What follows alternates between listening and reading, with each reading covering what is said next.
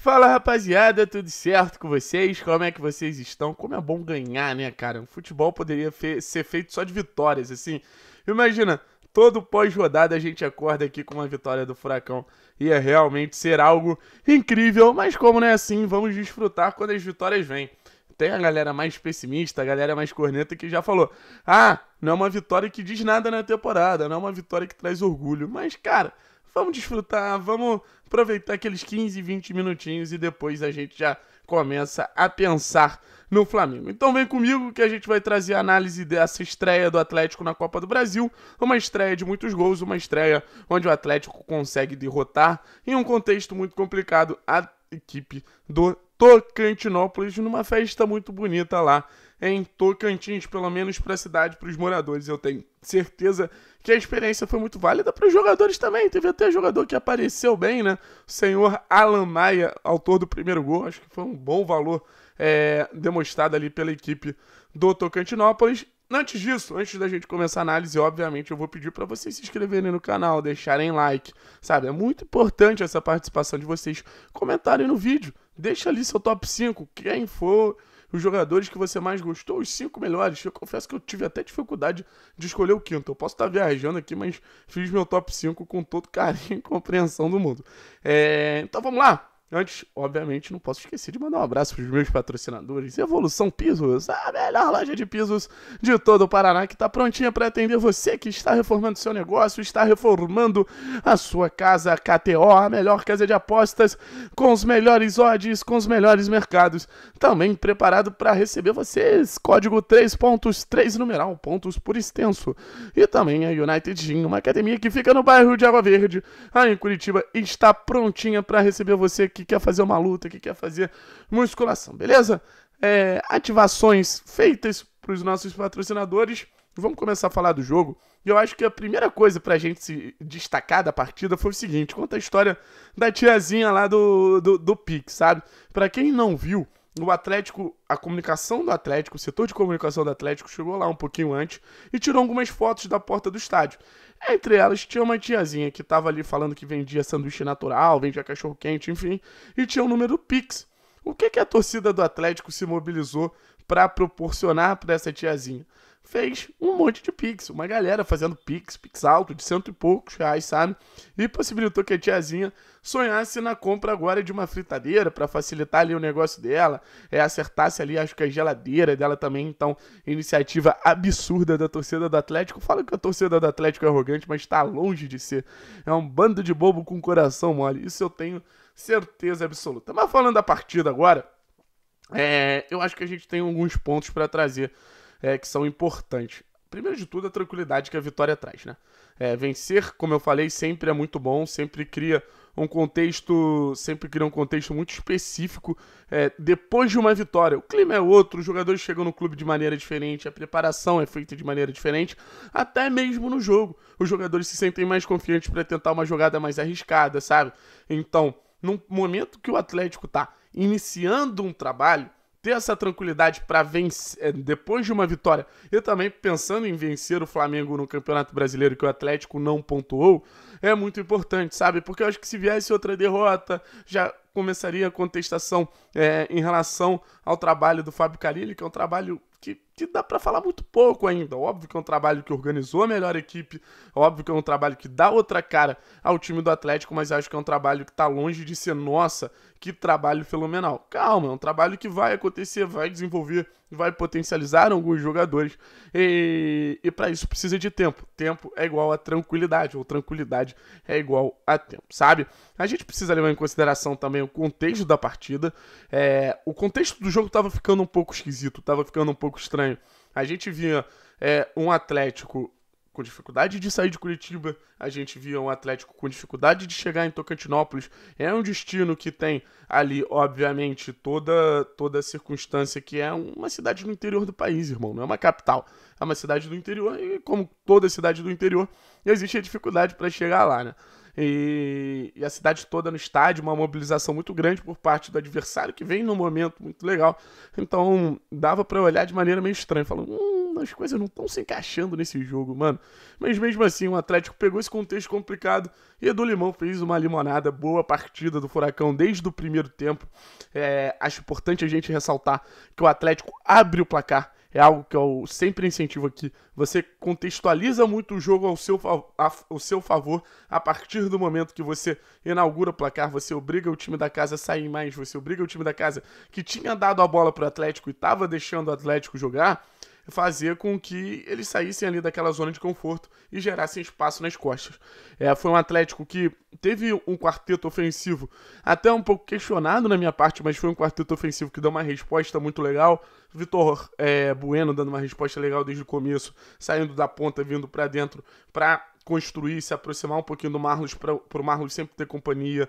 Um Pablo se movimentando muito, com alguns erros técnicos, com alguns erros técnicos, mas gerando pressão, gerando incômodo, recuperando bolas, deixou o Vitor Bueno na cara do gol, sabe? Você tinha um Pedro Rocha muito agudo pelo lado, num jogo que o Pedrinho subiu menos, e obviamente no protagonismo do Marlos, mas aí a gente vai falar quando a gente for fazer o nosso top 5. Mas foi um, um, um, Atlético que se encontrou muito fácil nos seus quatro jogadores de frente e transicionou muito fácil. Quando o Atlético começou a botar o carilismo em prática, que é esse jogo de transição, que é esse jogo de ataque ao espaço, encontrou fácil o primeiro gol ali depois do, do Pablo, acho que recuperou a bola, deu no Pedro Rocha.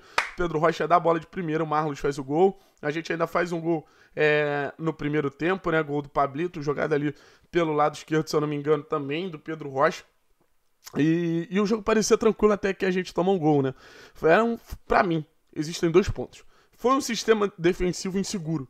Mas para mim era muito óbvio que ia ser um sistema defensivo inseguro porque foi um sistema defensivo mal montado. Foi um sistema defensivo que eu olhei assim e falei: Porra, irmão, é, tá errado. Tá claramente errado esse sistema defensivo. Porque sistema defensivo é o que inclui todos os jogadores. A gente tinha pontas que não faziam uma boa recomposição. A gente tinha volantes que não marcavam bem. A gente tinha laterais que não marcavam bem. E estourar na zaga. Estourou na zaga. Alguns erros aconteceram ali, tanto do Lucas Jalter, tanto do Lucas Chasson. Primeiro gol sai numa cabeçada onde acho que até o Pablo vai mal ali. Acho que o Pablo poderia proteger melhor aquela entrada da área, sabe? O time vai pro intervalo, volta no, num ritmo bem parecido do que acabou o primeiro tempo.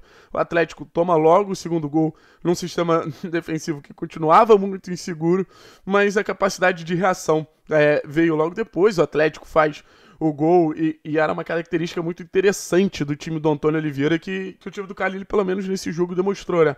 Que é tomar o gol e ter a capacidade de reagir logo depois, com o, com o Atlético mostrando uma capacidade muito legal de jogadas coletivas, de jogadas trabalhadas é, pelo próprio Fábio Carilli, né? Acredito que tenha sido é, um dos motivos do Atlético ter tanto sucesso nas bolas alçadas na área. A gente teve também boas entradas no segundo tempo. A partir do momento que o jogo vai perdendo um pouquinho o ritmo, o Atlético acelera logo depois desse gol também, né? Constrói a vantagem, mas o jogo vai perdendo um pouquinho o ritmo. Você tem um sistema defensivo é, melhor composto ali com a entrada do Matheus, com a entrada do Citadini, é, dava uma segurança melhor, um preenchimento melhor ao meio de campo. É natural essa queda de intensidade, nada demais. Mas um jogo ofensivo muito legal. Para quem falava que o Carilli era defensivista, já na sua terceira partida, entrega um jogo de 5 gols. Agora vamos pro top 5, cara. É, que é um top 5 interessante. Quero saber o top 5 de vocês. Primeiro eu vou falar o número 5, né? Achei que o Matheus Fernandes entrou bem, mano. Gostei do jogo do Matheus Fernandes. Achei que ninguém do nosso sistema defensivo merecia tanto é, uma exaltação, nem Christian, nem Silas, nem Pedrinho, nem Kelvin, nem Fasson, nem Halter, nem Bento. Então, é, pensei, cara, quem entrou melhor? Eu gostei da entrada do Matheus, tomou algumas pancadas ali, mas prendeu a bola, respirou, fez o jogo girar sabe? No, no, momento que, como eu falei, a intensidade já caía, ele trouxe o jogo mais para perto do Atlético do que para perto do Tocantinópolis, em alguns momentos é, atacando mais, entrando na área, percebendo a liberdade que tinha, né? Então, um jogo muito interessante do Matheus Fernandes, acho que é um retorno muito importante prestes a enfrentar o Flamengo, já que a gente não tem o Hugo Moura contra o Flamengo, pode ser uma boa oportunidade para o Matheus. Número 4, vou dar para o Pablo, pressionou bem, extremamente dedicado, tentou fazer mais gols, né? Botou uma bolinha na rede e já acho que seja importante esse gol para o Pablo, mas é, é um jogador que, que no final das contas precisa desencantar de vez, né? É, fez um gol, criou outras boas oportunidades, ajudou na pressão, ajudou recompondo duas, três roubadas do campo defensivo do Pablo, sabe? Ajudando o jogo aéreo ofensivo e defensivo. Um jogador extremamente dedicado, um dos líderes desse grupo. Não é para ser um protagonista, gente, mas é para ser um cara que abre espaço, um cara que bota os companheiros na cara do gol, como ele botou o Vitor Bueno, um, companheiro, um, um cara que, que vai se dedicar ao máximo e vai ser um jogador extremamente coletivo. A partir do momento que a gente conseguir transformar essa coletividade do Pablo em individualidade potencializada, como foi em 2018, a gente vai voltar a ter um atacante muito foda. Aí em terceiro eu botei o Vitor Bueno pelos gols, acho que trabalhou bem ali por dentro sempre que se aproximou do Marlos, sabe? Gostei bastante do jogo do Vitor Bueno, ouvi algumas críticas, mas é, trabalhou bem ali no lado direito, acho que é um bom meia, mano. É uma boa opção, sabe? Em algum momento eu pensei até botar o Vitor Bueno como segundo volante, já que o Christian não vinha bem, mas mais um bom jogo do Vitor Bueno. Mostra uma tranquilidade. Não é o jogador mais intenso do mundo, não é o jogador mais dedicado do mundo, mas mostra uma tranquilidade para estar tá sempre apresentando um bom futebol. Pedro Rocha, bom jogo, mano. Bom jogo do Pedro Rocha. Esperava nada do Pedro Rocha.